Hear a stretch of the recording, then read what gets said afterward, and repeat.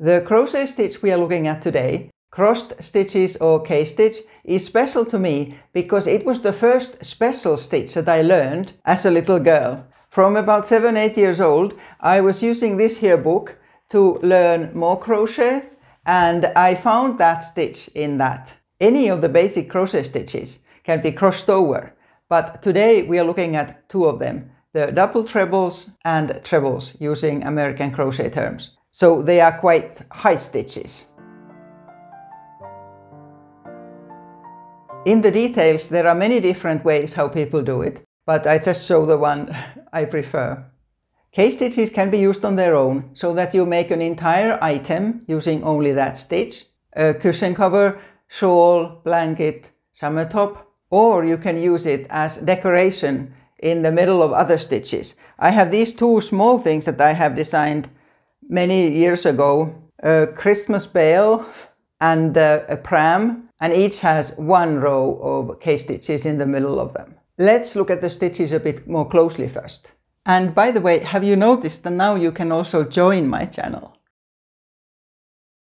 This here one is done like two trebles on each side of the crossing point there using American crochet terms. So each one needs four yarn overs when we start. And in this one I have one row of single crochets always in between the crossed rows.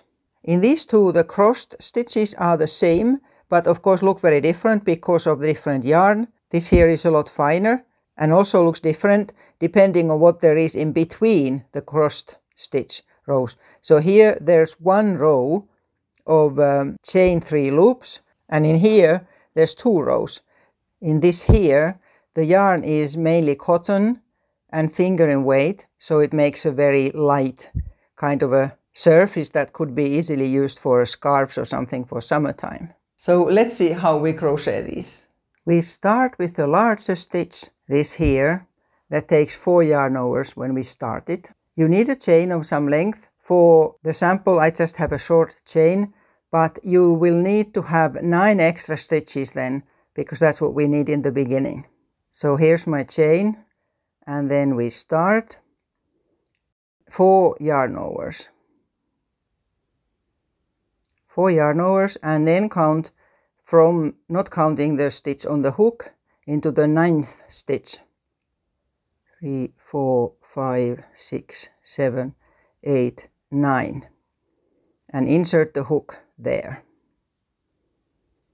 And now we start as if we were doing a double crochet, yarn over and through two loops. And the same a second time and then we leave that there and make two yarn overs again and skip one stitch and insert the hook in the one after. And now right through to the end always yarn over and through two loops. Two, two, to the end. So it looks like that at the moment. And then chain one and uh, two yarn overs. And then we need to attach that in the middle. Now there are many different ways how people continue from this.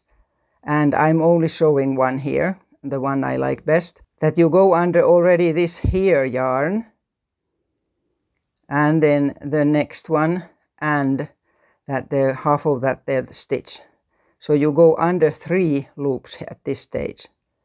Take a yarn over and then again each time through two loops.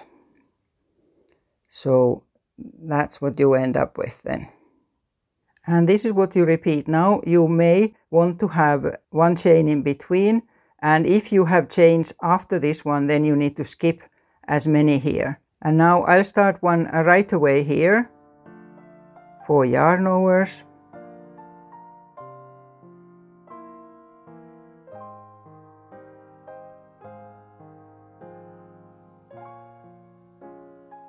Twice through two loops, two yarn overs, skip one and in that one and then always through two loops.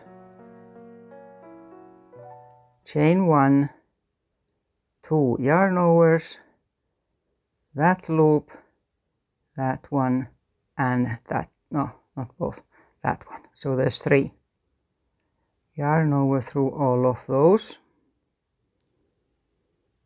and then through two loops each time. Okay, so now we have two. I'll do a few more to the end of the row and then look at the row in between. Here, and you can also have two chains in between here and then in that case you then also skip two here. Now I'm sort of at the end of the row. And then simply chain one and turn. And you could start here now so that you would put the stitches exactly corresponding where the previous row is here. But I'll make a row in between. And the important thing is then that you have the same number of stitches in this here row so your stitches don't increase or decrease. And I'll have two in this here hole. But then because there's an extra one there that means that I can't do both of these. So I put the hook in between here. So this is an easy way to do it. You always have two single crochets in that there loop and then one in between till the end of the row. And when I'm at the end, I'll also have one in the loop at the end of the row. And to start the next row, chain 7.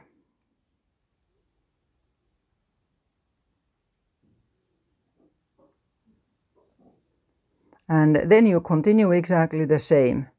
So 4 yarn overs and uh, go in the stitches above where you have the previous row like in this here one.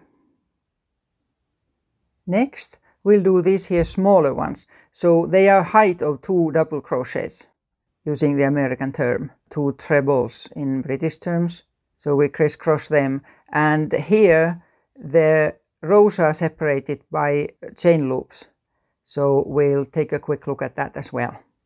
Again you need a chain and uh, because it's going to be the height of two double crochets, you would think you would yarn over two, but we actually yarn over three times and I'll explain in a minute why. So three yarn overs and then insert the hook in the sixth stitch from the hook. One, two, three, four, five and six. Insert the hook there and pull up a loop and yarn over and through two just as if we were starting a double crochet. And then another yarn over and skip one chain and go into the next one. And then pull through two loops and now we come to why we had an extra yarn over because the crisscross bit gets better if you at this stage now pull the yarn through three loops, so that one, that one, and that one. And then yarn over and finish off. Chain one, yarn over one, and take these here two loops in the middle and yarn through them and then finish off. Here we are with the first one. I'll do another one. So three yarn overs, go right into the next stitch. Another yarn over, skip one,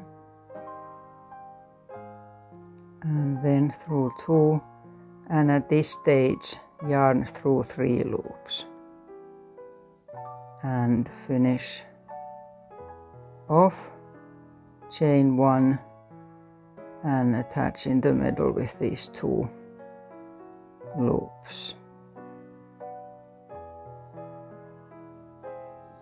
There.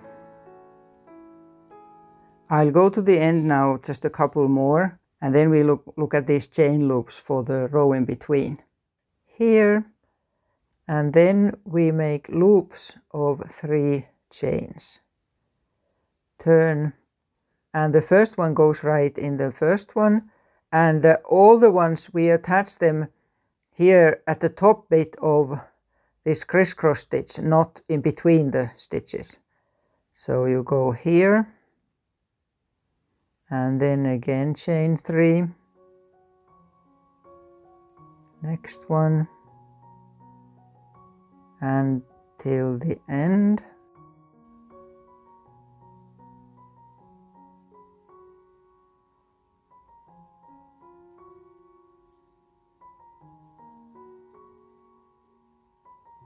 And also at the end chain three. And go into that tail loop that we had at the very start. And now chain 5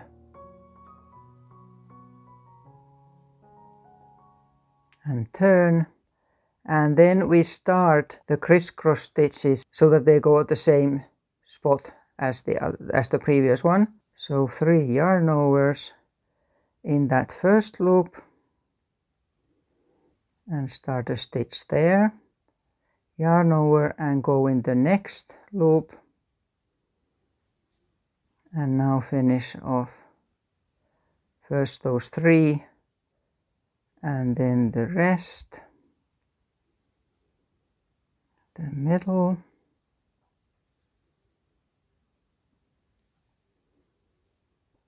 And then again three yarn overs. And now we need to go the other side of the same loop. So here and then a yarn over and on the other in the next loop. So that's how it goes. Well, I finish this one.